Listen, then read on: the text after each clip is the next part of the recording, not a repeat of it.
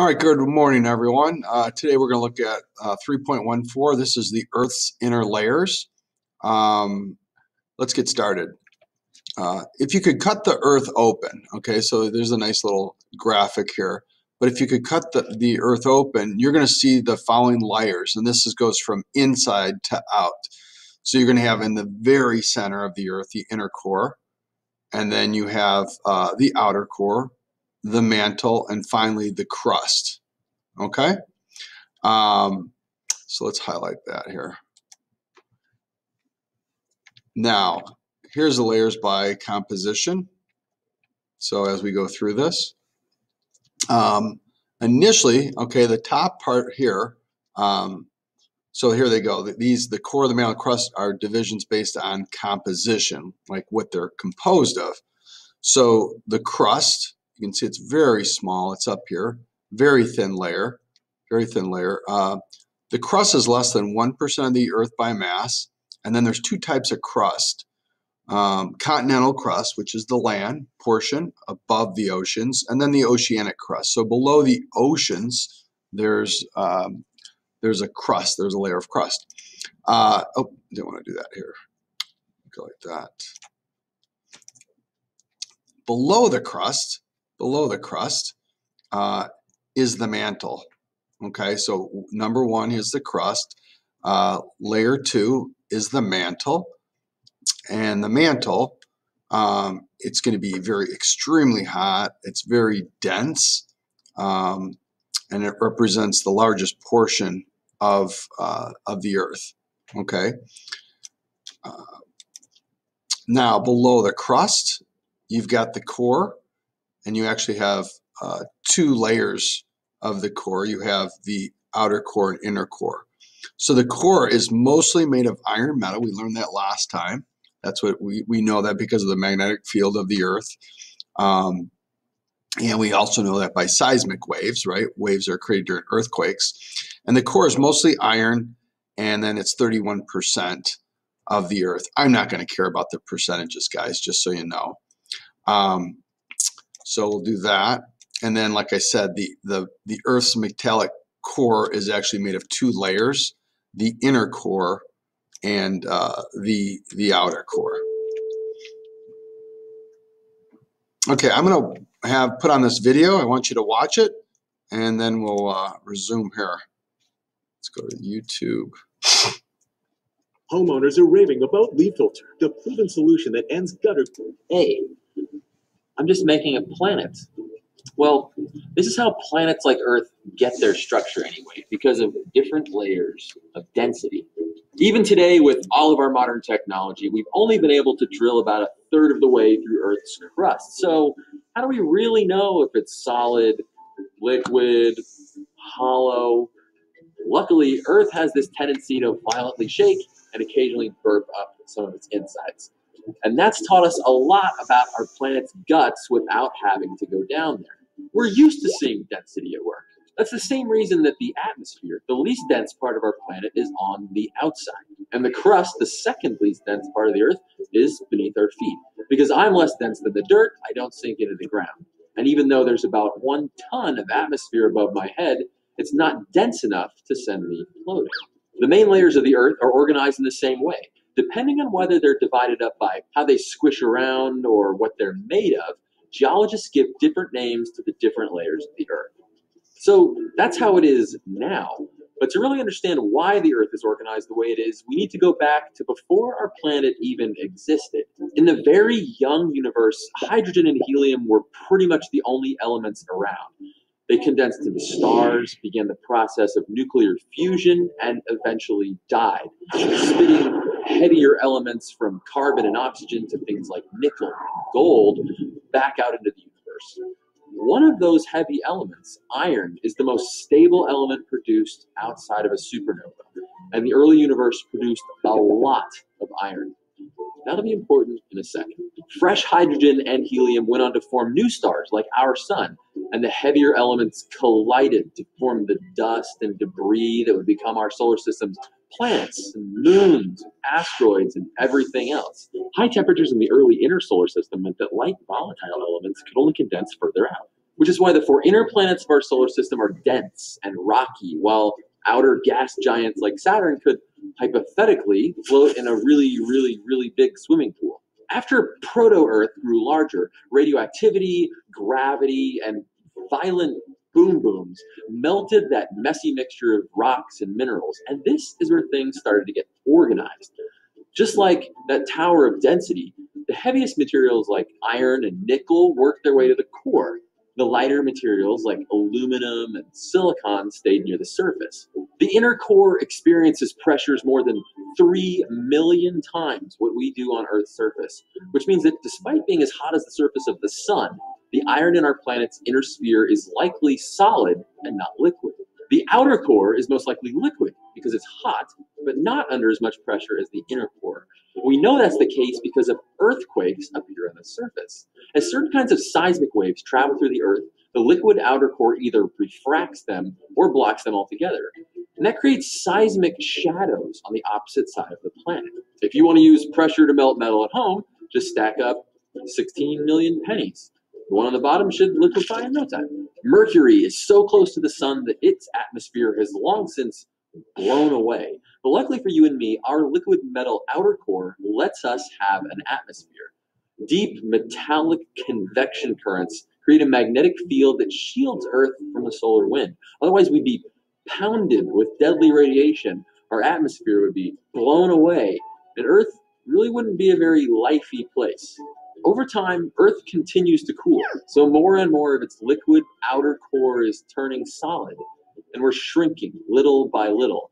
Every earthquake that we feel is Earth taking one step closer to cooling off and becoming a real third rock from the sun. So there you have it. Like Carl Sagan said, we are star stuff who has taken its density into its own hands. It's density, right? On your density. Stay curious. People have been looking at clouds since people have been people. Those billowing shapes might have been our first art or the characters in our first stories. All right, that's a pretty good video going through the, the different uh, layers of the Earth. Uh, then they also talk about mechanical properties. And, and with this, we're going to talk about um, mainly it's going to be the, the mantle and the crust. And remember, the, the crust is on the outside, and then below that is the mantle. Uh, and they break these into two different divisions. Um, so sometimes I'll kind of, hopefully not confuse you with this, but it's it's the lithosphere. Actually, no, let's do this. It's the lithosphere and the atmosphere, or the sorry, the asthenosphere. My bad. When you hear litho, you should be thinking uh, solid rock, and that's what it is. The lithosphere is composed of the crust and the uppermost layer of the mantle, and it's going to be very rigid and brittle, and it's solid. And since it's solid and it, it kind of shifts underneath it, um, it's broken. It's cracked into pieces, and almost like if you have a hard-boiled egg and it's been hit a few times or dropped a few times, there's, there's cracks that appear, and that's basically what the Earth's crust looks like. Okay, then uh, below the lithosphere, below that that uh, solid part, you have the asthenosphere, which is the upper mantle. Um, and this layer, it, it's solid, but it's it's almost like a, a plastic that's been sort of uh, almost like an oobleck. How about that? Like oobleck, um, or very uh, like a, a melted, uh, very thick uh, plastic, okay? Or how about like a real thick molasses or corn syrup? It flows, but very, very slow, okay? Um, and they said, that, oh, solid, it flows like silly putty. Yeah, okay, that would make sense. Um, so, uh, in in summary, this is pretty straightforward. We know that the Earth is divided into these three primary uh, layers: the core, the mantle, and the crust when you look at the mechanical properties, uh, they break down the crust and the mantle are divided into lithosphere and asthenosphere. Lithosphere being the solid portion, asthenosphere sort of being a semi-solid. It, it, it slowly flows. Um, and okay, let's watch this video here.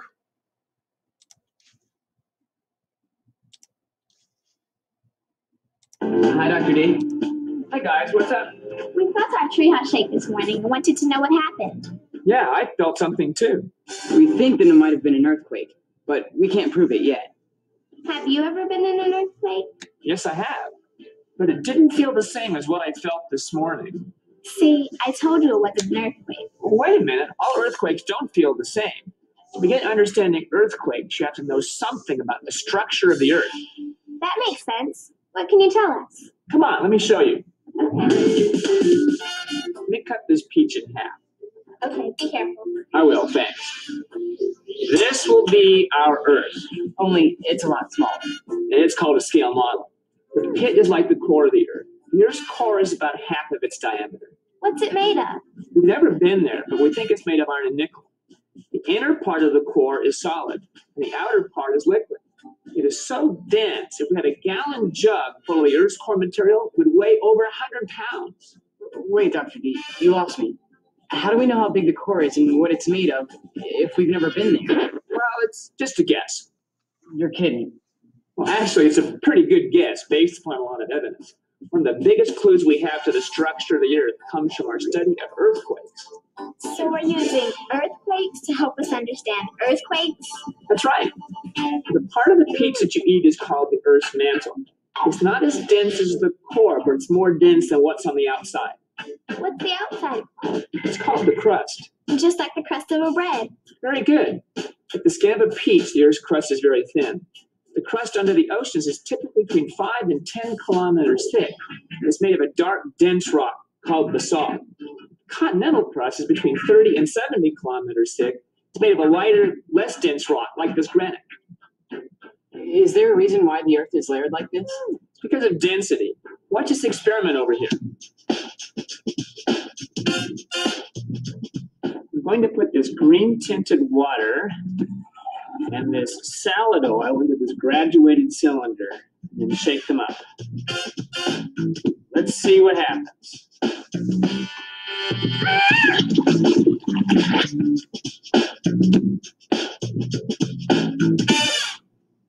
The salad oil is on top, and then the water.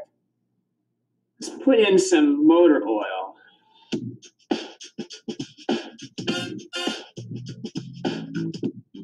It turns out the least dense, which is motor oil, floats on the top, and the most dense, water, sinks to the bottom. It's just like the early history of the Earth when it was all liquid. Earth? Liquid? Strange, but what does this have to do with earthquakes? When the Earth cooled, the crust upper mantle became rigid and brittle.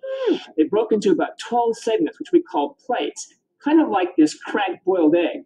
These plates float on the more dense but flexible mantle below, kind of like this egg white. These plates are in continual movement. Wow, this is too weird. Why don't we feel them moving? They move about as fast as your fingernails grow, which is only a few centimeters per year. But we have fossil evidence of this movement, which we call plate tectonics. Are fossils also clues to understanding earthquakes? Well, Yes? but Dr. D, aren't there other things that could cause vibrations? Well, yes, that's a good question. Anything that makes a very loud sound make things shake a little. I watched fireworks on the fort, and some were so big I did feel the vibration. Oh no, I'm late for an appointment. Why don't you take a while and discuss this? Okay, um, yeah, it was kind of, a- you can tell that was made uh, quite a while ago. It looks like it was sometime in the 90s. Uh, I like the, the styles of clothes and uh, the, the groovy music. So hope you enjoyed that. There's some pretty good information though with that. All right, guys. So I'm now going to post on the CK12 this assignment. Uh, you can mark this video done, and then uh, let's get going on the assignment. All right. Any questions? I'm I'm available. Thanks.